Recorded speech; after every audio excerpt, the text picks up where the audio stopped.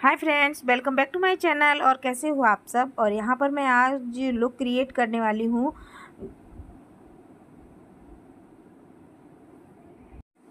Ganesh Chaturthi makeup look मैं create करने वाली हूँ। तो यहाँ पर सबसे पहले कर लेंगे स्किन केयर तो मेरी ये जिवामे की मॉइस्चराइज़र है, जो मैंने रिव्यू में बताया हुआ है और काफ़ी वीडियो में भी ये बहुत ही अच्छा है और फेवरेट भी है मेरा। आपने देखा ना, मैंने सारा ख़त्म कर दिया है, मैं दूसरा लेने वाली हूँ। उसके बाद जो है, मैंने गुड वाइब्स का रोज़ हिप का ब्राइटनिंग सीरम लगा लिया है और उसके बाद हम लगा लेंगे लिप बाम तो यहाँ पर एक मिस्टेक मुझसे हो गई है बोलने में। पहले लगाना है सीरम उसके बाद लगाना है मॉइस्चराइज़र और यहाँ मैंने टोनर को अवॉइड कर दिया है, क्योंकि इस टाइम टोनर मेरे पास कोई नहीं है, गुलाबरी का है तो वो मेरे पास है, लेकिन मैंने उसको नहीं लगा पाया।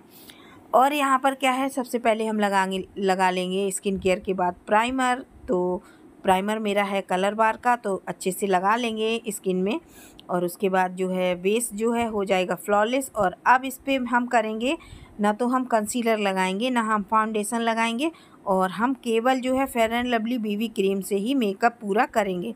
ये देखिए, और ये इससे जो है मेकअप बड़ा ही अच्छा लगता है और डे में तो बड़ा ही अच्छा लगता है। बस ऐसे ही हाथ से हम स्प्रेड कर लेंगे बीबी क्रीम को और बड़े अच्छे से ये लग जाएगी पूरे फेस पर।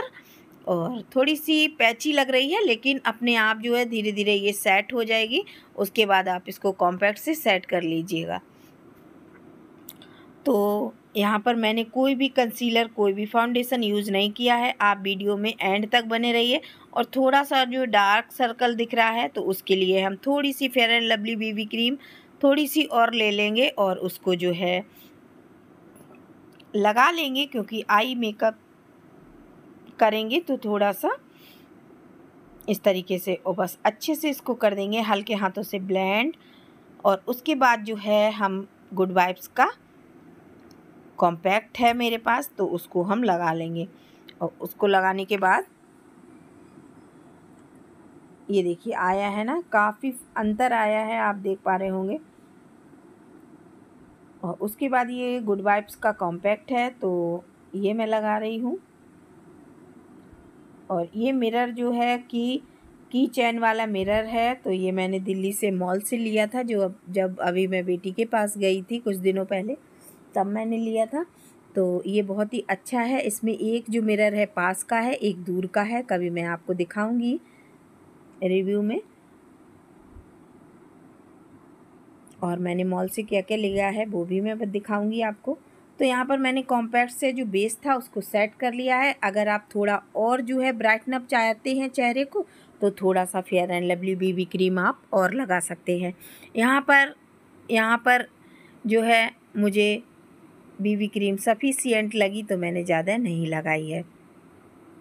उसके बाद हम चेहरे को थोड़ा सा कंटोरिंग कर लेंगे तो यहाँ पर मैं करूँगी लिक्विड कंटोर तो ये मेरा एन वाई का है, ये मेरे कुछ दिन पहलों पहले का ही है, पहले आपने वीडियो में देखा होगा। तो बस कुछ नहीं, हम कंटोरिंग कर लेंगे, जैसी कुछ भी है, बस थोड़ी बहुत कंटोरिंग कर लेंगे।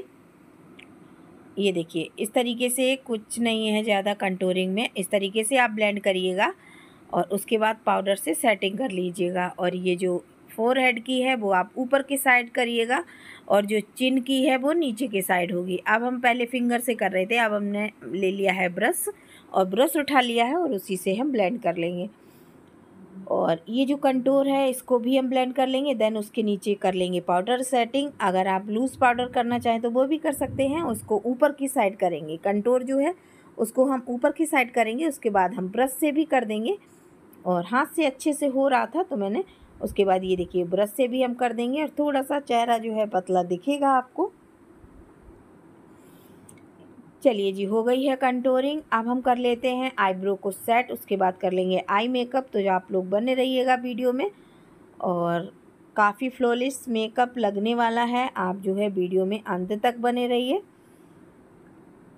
और यहाँ पर मैंने आउटफिट बियर किया है रेड और रेड ही मैंने बैंगल्स भी डाली हुई हैं और ये वही मेरा पुराना हिलारी डोडा का आईब्रो पैलेट है, इससे हम कर लेंगे आईब्रो पे। सेट इस तरीके से काफ़ी अच्छा है ये और इसमें कॉम्ब भी एक साइड आता है, एक साइड ब्रश और एक साइड कॉम्ब आता है तो उसी से आप अपनी आईब्रो को फिल कर सकते हैं।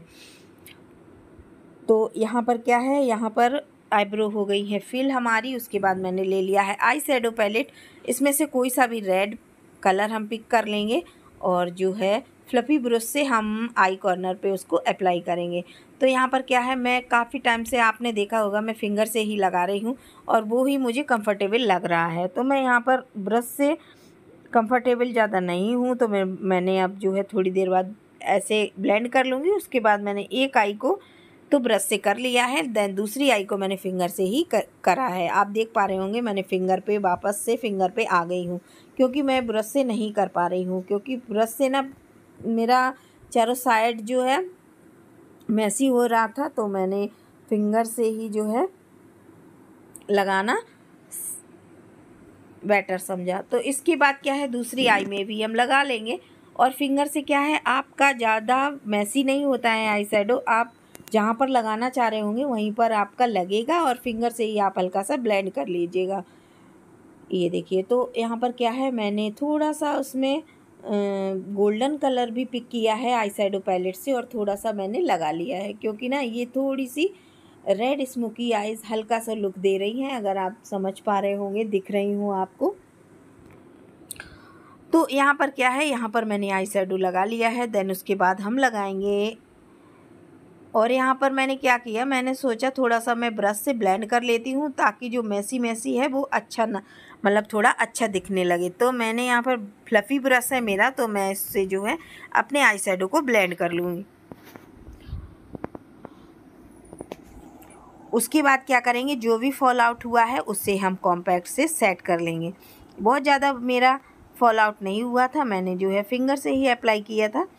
और थोड़ा हल्के हाथों से करिएगा। उसके बाद मैंने यहाँ ले लिया है ममा अर्थ का काजल, जो मैंने हाल ही परचेज़ किया हुआ है। तो वो मैंने लगा लिया है। और आई लाइनर मैं थोड़ा मोटा ही लगाने वाली हूँ, क्योंकि थोड़ा ना अच्छा लगेगा।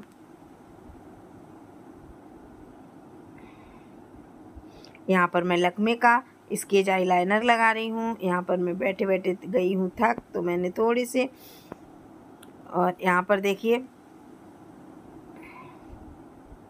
देखिएगा फ्रेंड्स, क्या है कि वीडियो में बहुत ही मेहनत लगती है। प्लीज़ आप जो है लाइक, शेयर एंड सब्सक्राइब ज़रूर कर दीजिए करिए। और वीडियो बनाने में बहुत ही मेहनत लगती है, आप खुद ही देख पा रहे होंगे। उसके बाद उसको रिमूव करो।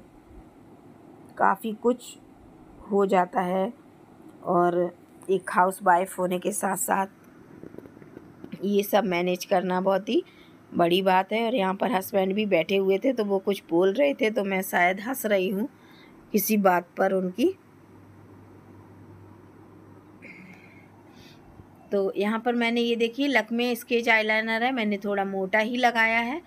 और उसके बाद अब मैं आ गई हूँ ब्लू एन ब्लू हेवन का लैंग, लॉन्ग लेंथ मस्कारा। है ये मेरा, ये भी काफ़ी पुराना है, अब मैं न्यू जल्दी परचेज़ करने वाली हूँ।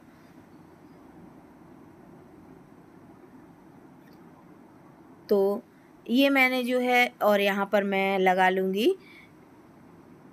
Red lipstick blood red lipstick है मेरी तो मैं ये लगा लूँगी। ये लिक्विड की मैट मैट लिपस्टिक है मतलब लिक्विड भी है और मैट भी हो जाती है लगाने के बाद। दूसरा क्या है? दूसरा,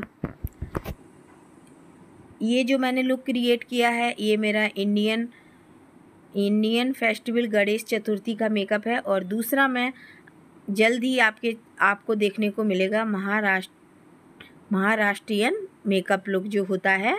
नथ वगैरह उसमें दूसरी पहनते हैं ना तो वो मैं जल्द ही अपने वीडियो में चैनल पे अपने डालूँगी तो आप लोग ज़रूर से चेकआउट करते रहिएगा।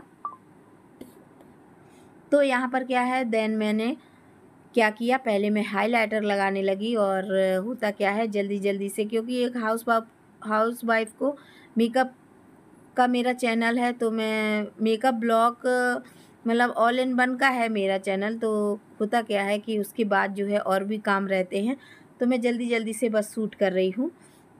तो यहाँ पर क्या है, मैं पहले हाइलाइटर लगाने लगी थी और उसके बाद मैंने हाइलाइटर को रख दिया है, पहले ब्लश लगाया है, वो मैंने लगाया है ब्लू हेविन का, देन उसके बाद मैंने हाइलाइटर लगाया है, इसीलिए तो कह रहे हैं फ्रेंड्स, आप लोग जो है ज़रूर से लाइक, शेयर एंड सब्सक्राइब कर दीजिए करिए, क्योंकि होता क्या है कि बड़ी ही मेहनत लगती है इसमें, और देखिए ये मैंने चोकर जो है फ़िलहाल मीशो से मंगाया हुआ है, काफ़ी अच्छा मांग टीका भी इसमें आया है तो काफ़ी अच्छा लग रहा है ये, और यहाँ पर गणेश चतुर्थी मेकअप लुक है तो मैंने गणेश जी को भी ले लिया है हाथ में और बस यहाँ पर पिक मैं खींच लूँगी और ये देखिए, वीडियो आपको कैसी लगी है friends? Like, share and subscribe ज़रूर से कर दीजिएगा। Okay bye bye